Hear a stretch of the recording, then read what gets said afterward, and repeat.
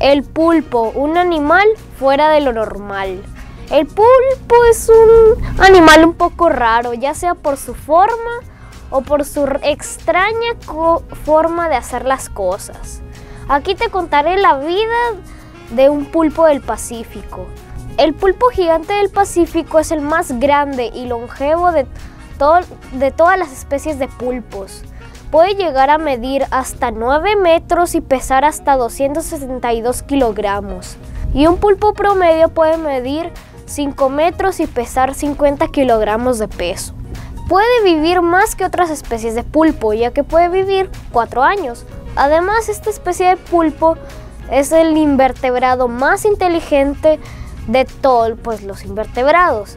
Además, caza por la noche presas como almejas, camarones, peces, entre otros.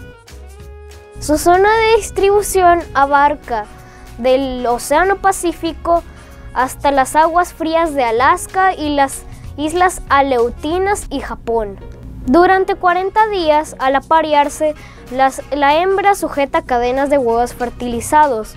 Pero estamos hablando de 10.000 y 70.000 huevos. O sea, ¿te imaginas tener tantos hermanos? 160 días, la mamá los limpia para, que, para asegurarse de que muchos huevos nazcan. Pero durante este tiempo ella no come nada. Y aunque papá pulpo no contribuye en nada para cuidarlos, después de aparearse entra en un proceso de envejecimiento acelerado que hace que se muera pocas semanas después. En pocas palabras, se aparean solo una vez en la vida y se mueren poco después.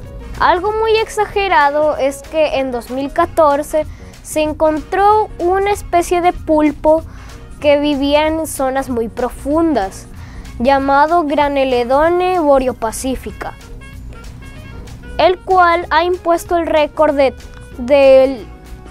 el mayor tiempo de gestación entre todos los seres vivos, que es de cuatro años y medio. Pero, y lo malo es que como todos los pulpos, la mamá pulpo muere. Dicen que la imitación es la mejor forma de alabanza, pero para el pulpo café es indispensable para sobrevivir. Primero copia el color de lo que quiere copiarse. Puede imitar al pez león, a la serpiente marina o al lenguado. Pues sí, aparte de cambiar su color, contorsiona sus brazos para igualar sus formas. Y checa lo útil que funciona con él. Porque si ve un pez damisela que es un depredador de este pulpo, puede tomar la forma de la serpiente marina, que es depredador de los peces damiselas, que, y cuando lo vea se vaya muy asustado. Una mentirilla que muchos nos hemos creído es que los pulpos tienen tentáculos, lo cual es totalmente falso. Primero, los tentáculos son mucho más largos y solo tienen ventosas solo en la punta.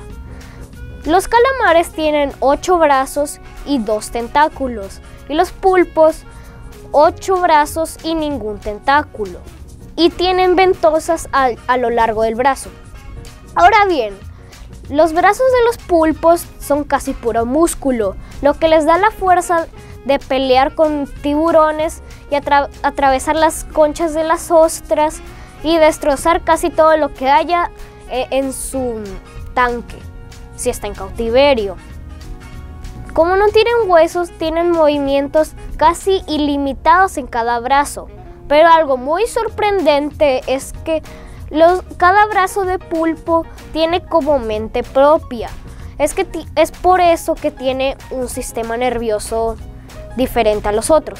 Por ejemplo, si un pulpo quiere atrapar la ostra que está en la roca de la derecha, los brazos se ponen a pensar cómo la ejecutarán.